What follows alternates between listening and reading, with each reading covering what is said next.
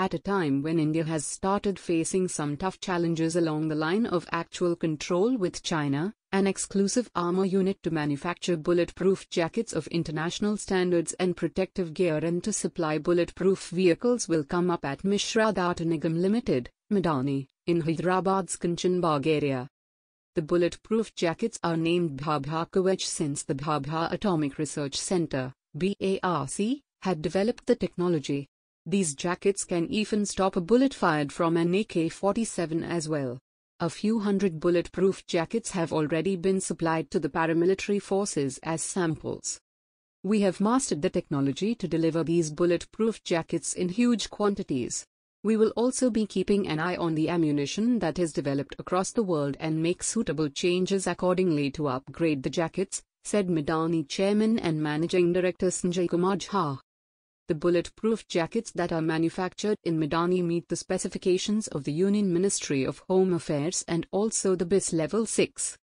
Sanjay Kumar said time has come for Midhani to diversify, including having a full-fledged armor plant which will have in addition to bulletproof jackets, vehicle armory and also protective gear for the armed forces. An armored vehicle which TOI saw at Midhani has features that security agencies will find suitable for use in challenging situations. For example, even if a tire were to be shot at, the vehicle would still be able to travel a distance of 100 kilometers. This, in technical parlance, is called run flat tires system. The vehicle, described as first ever Isuzu-based combat vehicle, has several other features too. While its carrying capacity with weapons is 7 persons, the vehicle can be used as a quick response team, escort vehicle, troops carrier in counterinsurgency operations and for other operational duties. Centre's Atmanirbhar Bharat concept has come as a shot in the arm for the defense public sector enterprise as preference will have to be given to it instead of going for imports.